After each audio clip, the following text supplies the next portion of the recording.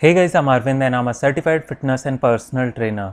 आज की वीडियो में मैं आप लोगों के साथ शेयर करूँगा वेट और फैट कम करने वाली एक्सरसाइजेस जो काफ़ी जल्दी आपका वज़न कम करेगी और साथ ही साथ फैट भी कम करेगी। पर आगे वीडियो शुरू करने से पहले मेरी आप सभी से रिक्वेस्ट है कि आप इस चैनल को सब्सक्राइब करें, साथ में बेल आइकन को ज़रूर प्रेस कर दें सो दैट इन फ्यूचर जो भी मैं वीडियोस फ्यूचर में अपलोड करूँ, उन सभी नई वीडियोस की नोटिफिकेशन आप लोगों को मिल जाए। एंड ये गाइस बिल्कुल फ्री ऑफ़ कॉस्ट है। फ़र्स्ट एक्सरसाइज है स्कॉट इस एक्सरसाइज में आप दोनों घुटनों को बैंड करेंगे। एंड जब जब आप ऊपर उठे तो नीज को ज़्यादा ओवर एक्सटेंड ना करें। इस एक्सरसाइज के आप फोर सेट्स करोगे। हर सेट में थर्टी रिपीटेशंस करोगे। एंड हर सेट कंप्लीट होने के बाद रेस्ट टाइम होगा ट्वेंटी सेकेंड का। जो लोग ज़्यादा मोटे हैं या जिनके नीज में दर्द है, वो लोग नीज को कम बेंड करें।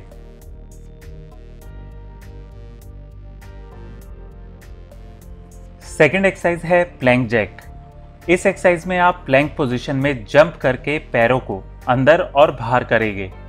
रैप्स अंदर और बाहर जंप मिला के काउंट करें। इस एक्सरसाइज के आप फोर सेट्स करोगे। हर सेट में 70 रिपीटेशंस करोगे, यानी 70 टाइम्स आप परफॉर्म करोगे। जंप करके इस एक्सरसाइज को एक सेट में। एंड हर सेट कंप्लीट होने के बाद रेस्ट टाइम होगा 20 सेकेंड्स का। थर्ड एक्सरसाइज है हाई नीज इस एक्सरसाइज के आप फोर सेट्स करोगे। हर सेट में 70 रिपीटेशंस करोगे। एंड हर सेट कंप्लीट होने के बाद रेस्ट टाइम होगा 20 सेकेंड्स का। इस एक्सरसाइज को करते वक्त एक चीज़ ध्यान में रखें कि आप अपनी स्पीड को बढ़ा के रखें। एंड जैसे जैसे आप थकने लगे, वैसे वैसे आप अपनी स्पीड को कम करके जैसे ही थकावट कम हो, दोबारा से अपनी स्पीड को इंक्रीज करें। फोर्थ एक्सरसाइज है क्रंचेस इस एक्सरसाइज में आप कमर के बल फ्लोर पे लेट जाए। एंड सिर्फ़ अपने शोल्डर्स को लिफ्ट करें ऊपर की तरफ़। लोअर बैक इसमें आप फिक्स रखें लोअर बैक को बिल्कुल भी ऊपर नहीं उठाना है। यदि आप अपने सिक्स पैक पे सबसे ज़्यादा असर देखना चाहते हैं तो आप इसी पोस्चर में इस एक्सरसाइज को करें। इस एक्सरसाइज के आप फोर सेट्स करोगे। हर सेट में 40 रिपीटेशंस करोगे। एंड हर सेट कंप्लीट होने के बाद रेस्ट टाइम होगा 20 सेकेंड्स का।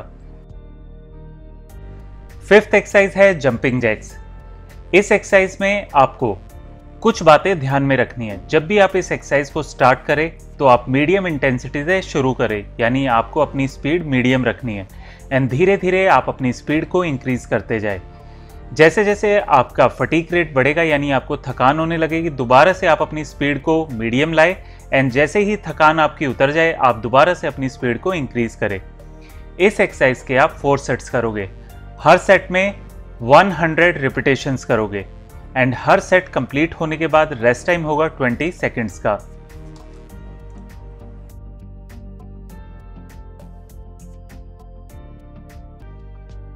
सिक्स एक्सरसाइज है माउंटेन क्लाइंबिंग। इस एक्सरसाइज में भी आप प्लैंक पोजीशन में जाए एंड नीज को चेस्ट की तरफ़ खींचे। इस एक्सरसाइज में भी आपको स्पीड पे काम करना है। पहले आपको तेज करना है और जैसे ही आप थकने लगो, दोबारा से आप अपनी स्पीड को कम करें। एंड जैसे ही आपकी थकान उतर जाए, दोबारा से आप अपनी स्पीड को तेज करें। इस एक्सरसाइज के आप फोर सेट्स करोगे। हर सेट में 70 रिपीटेशंस करोगे। एंड हर सेट कंप्लीट होने के बाद रेस्ट टाइम होगा 20 सेकेंड्स का।